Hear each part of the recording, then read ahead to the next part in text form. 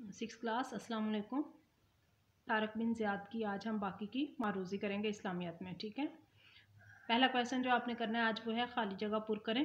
Tarak bin Ziyad dash नस्ल से ताल्लुक़ रखते थे, Berber. Tariq bin Ziyad Africa के गवर्नर डैश के नायब थे, मूसा बिन नुसैर। राडरक बादशाह के जुल्म सितम से तंग आकर उसका गवर्नर डैश मुसलमानों के साथ तावन पर आमादा हो गया।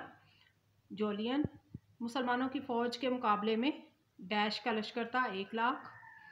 Tariq bin Ziyad dash के साथ मिश्क आ गए, मूसा बिन नुसैर। अगला क्वेश्चन है, दुरुस्त जुमलों के सामने टिक और गलत के सामने क्रॉस का निशान लगाइए।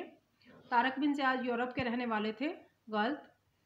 तारक बिन ज़ियाद को फ़ातह मिसर कहा जाता है, गलत। मूसा बिन नुसैर ने स्पेन पता करने के लिए खलीफा वलीद बिन अब्दुल मलिक से इजाज़त तलब की, ये ट्रू है। तारक बिन ज़ियाद से मुकाबले के लिए राडरक इस दस लाख फ़ौज लेकर आगे बढ़ा। ये गलत है।